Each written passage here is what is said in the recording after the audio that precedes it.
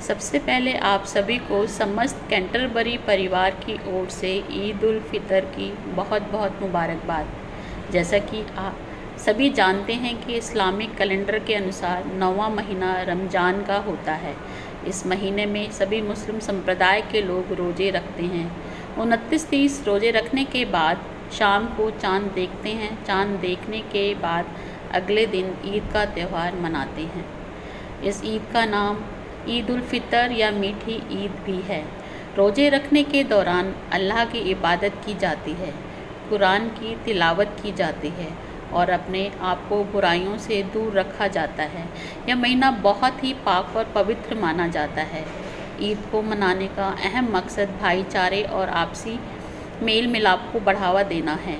इस त्यौहार में ईद की नमाज़ पढ़ने से पहले एक रकब गरीब और ज़रूरतमंदों को दी जाती है, जिसे जक़ात कहते हैं, ताकि वह भी ईद की खुशी मना सकें। इस त्यौहार पर मीठी सवैयाँ का खास महत्व है। सभी के घरों में मीठी सवैयाँ और तरह तरह के पकवान बनाए जाते हैं, एक दूसरे को बांटे जाते हैं। सभी मिलकर ईद की मुबारकबाद देते हैं और बड़े, छोटों को ईदी दी जाती है। इस त्यौहार पर बाज़ार की रौनक देखने लायक होती है। चारों तरफ़ खुशी का माहौल होता है।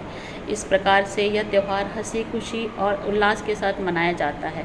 इस त्यौहार का मुख्य उद्देश्य आपस में मिलकर रहना, एक दूसरे के साथ अच्छा बर्ताव करना और समाज में अमन और चैन कायम रखना है। आप सभी को एक बार फिर से समस्त कैंटरबरी परिवार की ओर से ईद उल फितर की बहुत बहुत मुबारकबाद। शुक्रिया।